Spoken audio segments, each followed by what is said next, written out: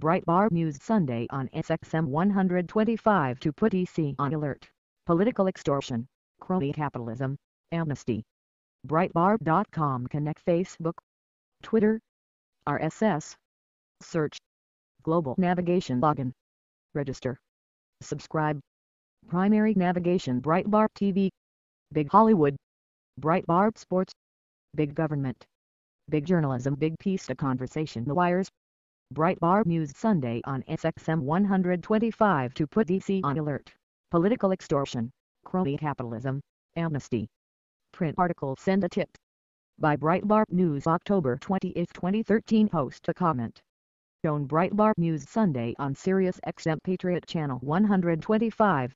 Breitbart News Executive Chairman and host Stephen K. Bannon will devote the show to three of the most important issues that Breitbart News has combated political extortion, crony capitalism, and amnesty. Day.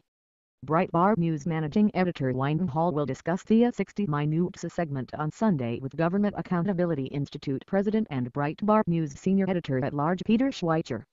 Schweizer's new book A Extortion, How Politicians Extract Your Money, Buy Votes, and line their own pockets will rock Capitol Hill with stunning revelations about how Republicans and Democrats use mafia-like tactics to extort political contributions.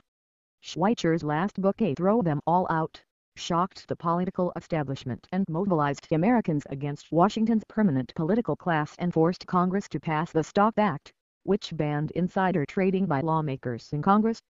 Breitbart News has relentlessly highlighted the crony capitalism that has allowed the permanent political and ruling class to extract money from Americans to make Washington a boomtown by expanding government.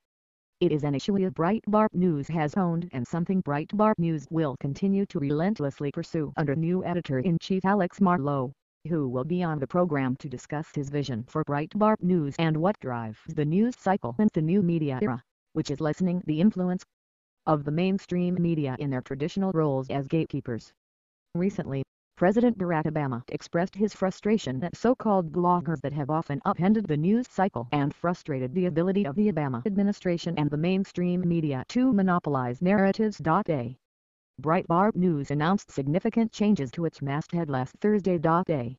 Marlow, described as a 27-year-old phenom and protege who was the first employee of Breitbart News and sat at Andrew Breitbart's trademark S side from the time of the company's funding in Andrew Breitbart's trademark basement, will be the editor-in-chief going forward. Marlow has also been referred to as the most powerful 27-year-old Euro's trademark the E never heard of, having studied the news business at the feet by Euros literally, the sock-clad feet by Euros of Andrew Breitbart.